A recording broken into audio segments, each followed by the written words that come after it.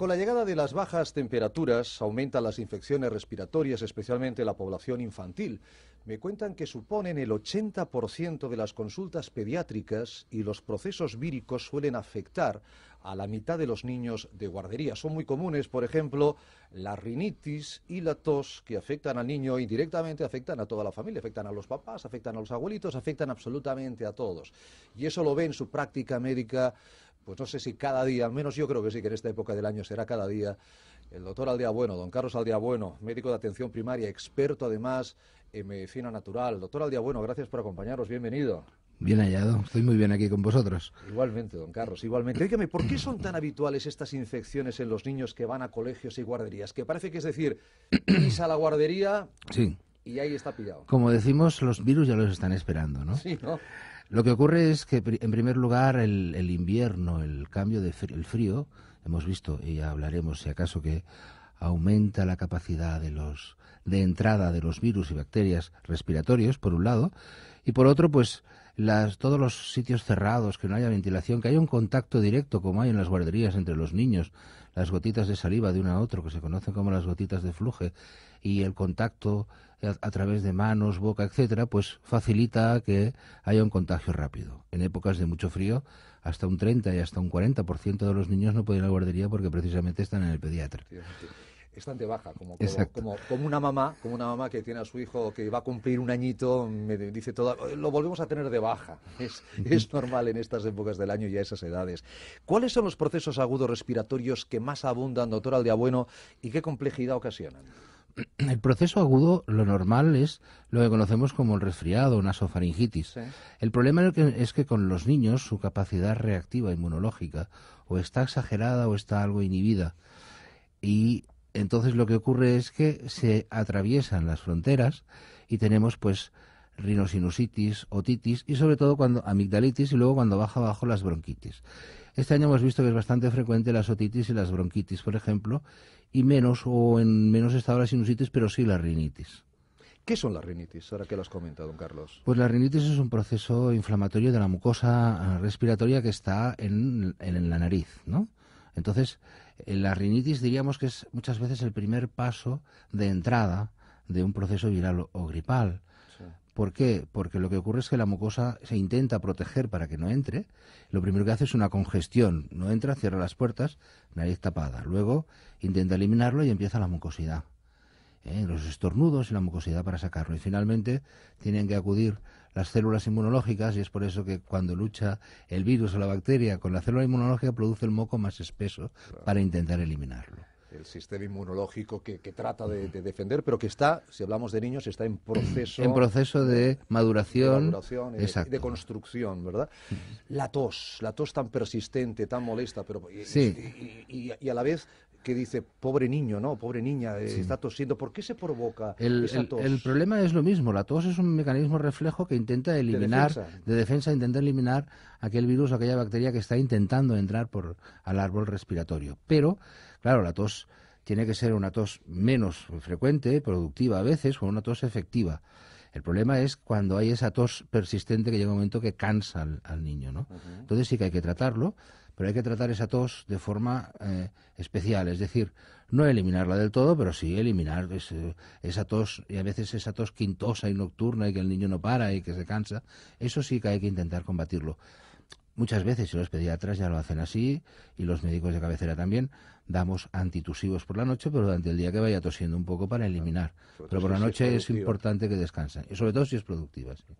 Antiguamente todos creíamos que si papá llegaba a casa resfriado, iba a contagiar a los niños. O el abuelito estaba resfriado, o la abuelita iba a contagiar a los niños. Que si él, era el niño el que estaba con moquitos, pues, pues no nos iba a pasar absolutamente nada. Nuestra madre estaba con nosotros y nunca enfermaba. Pero ahora se ha visto que el niño también nos puede contagiar. Sí, algunos lo conocen como infección en círculo. Empiezan los niños y pasa a los padres. Exacto. Bueno, es más, eh, eh, hay cosas increíbles que esto hace años no pasarían. Ahora, los abuelos que no nunca les ha gustado vacunarse de la gripe, ahora se vacunan de la gripe porque tienen que cuidar a los niños y seguro que le van a pasar la gripe. Es curioso, pero es así. Es, una manera de que, los, de que los abuelos también hagan su propia prevención. Exacto. Que también es bueno. ¿De qué forma se pueden prevenir eficazmente todos estos temas que estamos comentando a la audiencia, doctora Bueno? Hombre, eh, siempre lo importante es que el niño esté bien, sano, bien cuidado, con una alimentación adecuada, con la fruta, sabes que lleva la fruta importantes vitaminas, vitamina C, una dieta equilibrada, que esté aireado, que no aquellos niños que vemos que no, llega el frío y ya están tapados, ¿no? El frío de los padres lo pagan los niños que van sudorosos. Evitar sobre todo las corrientes de aire y el frío húmedo y el frío seco. Los dos ataques de aire son lo que perjudica. Porque se sabe, porque todo el mundo pregunta, ¿y por qué en invierno hay tantos resfriados? Y es porque el frío, la humedad y el frío paran el movimiento de la mucosa respiratoria y permite la entrada de los virus y bacterias. Y es por eso que lo que tenemos que hacer es que no hayan corrientes de aire y que esté bien ventilada la habitación para evitar que queden ahí los gérmenes y una dieta adecuada. Esas serían las medidas. Y además hay otras cosas que podemos hacer a base de, derivados alimentarios o alimenticios, vitaminas, etcétera. Ahí quería yo eh, incidir, doctor Aldea. Bueno, ¿existen complementos nutricionales que ayuden a potenciar ese correcto funcionamiento de las defensas naturales de ese sistema inmunitario y a prevenir todos estos cuadros tan molestos? Sí. Desde hace tiempo se ha ido buscando a nivel de investigación alguna serie de derivados que, no, que sean alimenticios o restos o, partes de alimentos que estimulen la inmunidad. ¿no? Y entonces hay algún producto que además hay un producto que ha empezado ya a trabajarse en España, pero que en Europa se conoce hace 20 años, sobre todo durante los 10 últimos años han habido estudios, que es un betaglucano que se llama el inmunoglucan P4H, que es una sustancia que no tiene efecto secundario y es un gran inmunoestimulante e inmunomodulador inmunoglucán P4H. ¿Hay estudios científicos eh, que confirmen esa eficacia, doctor Aldea Bueno? Pues sí, se ha hecho un estudio en Europa mm, con más de 200 niños y se le ha dado el inmunoglucán P4H y se le ha dado durante dos o tres meses y se ha visto que aquellos niños que presentaban, sobre todo es importante, niños que presentaban procesos otorrinolaringológicos repetitivos ah. o recidivantes, ha disminuido de una forma impresionante en más de un 50% todos estos procesos. O sea que, exacto, esos niños que todos que acaban en itis todos, ¿no? Empiezan con otitis y luego hacen pues se ha reducido en más de un 50%. ¿Y cómo se presenta este complemento que es de fuente natural que, ha mencionado hoy monoglucán P4H?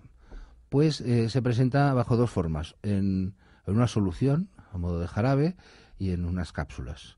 La solución, evidentemente, es para, para los niños, para partir de los dos años, aunque se está intentando dar ya desde un inicio más pronto, desde el inicio de la guardería, diríamos, pero se trabaja más a partir de los dos años y se hace entonces a nivel como de jarabe.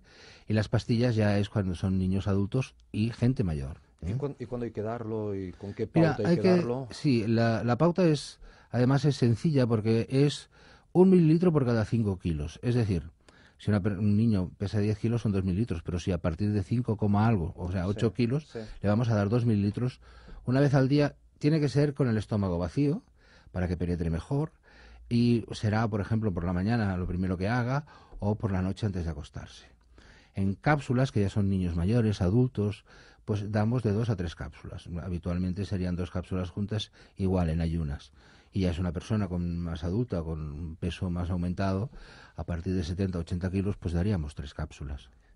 Y, esos niños que tienen el problema en el oído, porque todos todos a veces cojeamos en algo, ¿no? Hay, niños que tienen otitis, hay niños que, tienen otitis repetitivas y esa otitis repetitiva pues causa ansiedad. ¿Por qué? Causa ansiedad porque hay mucho moco, es uno de los dolores más fuertes que hay porque cuando se hincha por el moco, el, nervio se aprieta en contra de un hueso y duele, ¿no? Y aparte también es preocupante porque ese moco se ha de controlar, sobre todo por pediatra y otorrino, para evitar que luego hayan complicaciones de hipoacusia, sorderas, etcétera.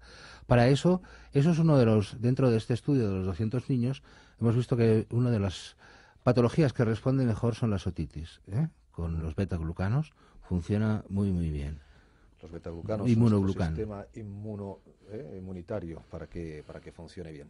Pues doctor Aldia, bueno, le agradezco muchísimo el que nos haya acompañado. Cuídese mucho. Igualmente, ¿Eh? que vaya todo muy sistema inmunitario funcionando bien. Tiene que funcionar porque vemos muchos niños. Tiene que funcionar. Gracias, doctor Aldea. Hasta pronto. Inmunoglucan P4H.